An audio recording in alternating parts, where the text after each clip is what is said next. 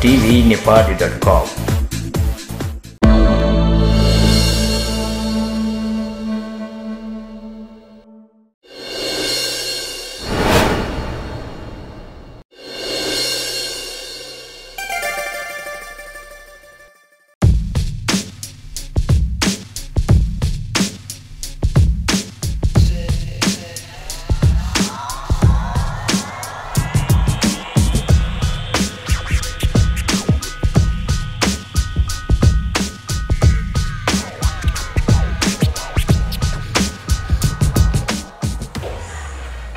यो पारा के हो तेरो?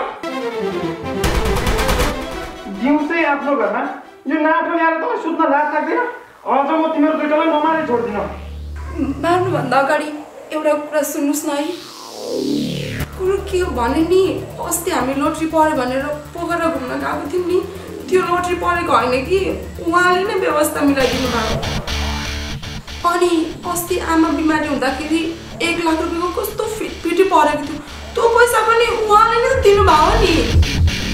अनि अस्ति मैले बर्थडे गिफ्ट भनेर हजुरलाई सुनको रिङ दिएको थिएँ नि त्यो पनि उहाँले नै किनिदिनु भएको अस्ति भाइ विदेश जाने बेलामा दुई लाख रुपियाँ अपुग थियो नि त्यो पैसा पनि उहाँले नै मिलाइदिनु भयो। अनि अस्ति हामीले दुई वर्षको भाडा एकैचोटि दिउँ नि त्यो पैसा पनि उहाँले नै दिनुभयो। ए साँच्चै अर्को कुरा त भन्नै बिर्सेछु।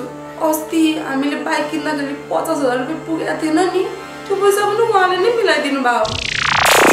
हे मेरो भगवान् हे मेरो परमेश्वर तपाईँ त हाम्रो जीवनमा साक्षात् भगवानै भएर उत्रिनु भयो। मैले त के के अनर्थ सोचेको? हे बुढी त चाहिँ के साह्रो निर्दय भयो कि?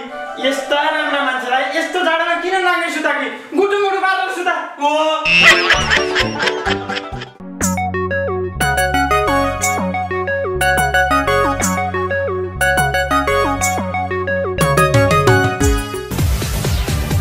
tvnepali.com